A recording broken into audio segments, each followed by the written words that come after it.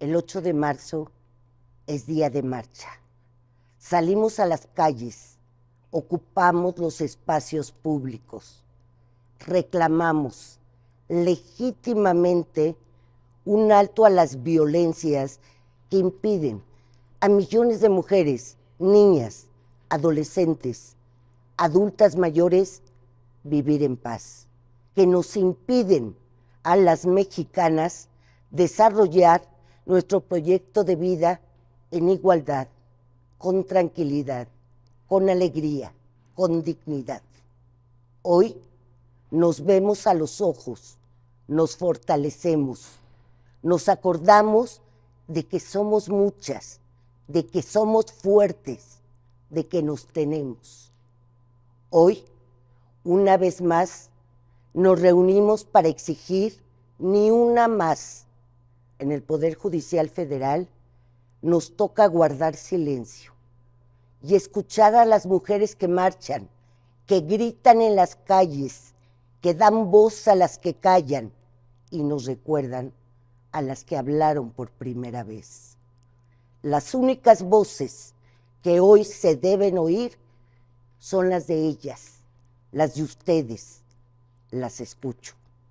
En el Poder Judicial Federal reconocemos las deudas históricas del sistema de justicia con las mujeres. Las asumimos de frente a los problemas que persisten en la efectividad de la impartición de justicia.